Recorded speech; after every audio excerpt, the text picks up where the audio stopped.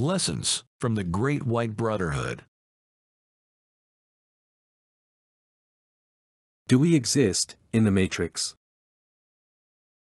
If I assume that you have left school and gone out into the adult world, we can see an example of this Matrix world.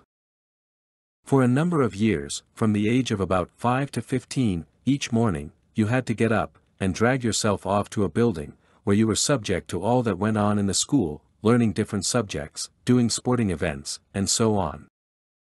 Each morning, you went through the gates of the school, and were involved with whatever went on there.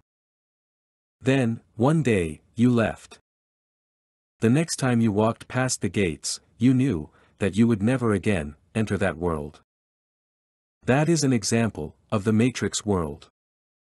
A synthetic world that seemed so real for 10 years, but was only a small part of life.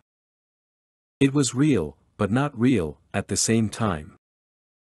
I understand that, when we die and go to heaven, we look back at our life here on earth, and realize, that it was only a sort of dream, in the totality of our endless existence. As we advance through the spiritual realms, we see each previous one as synthetic, real, but not real. It is, apparently, only when we reach the Godhead, that the matrix ceases. Thank you. Bob Sanders.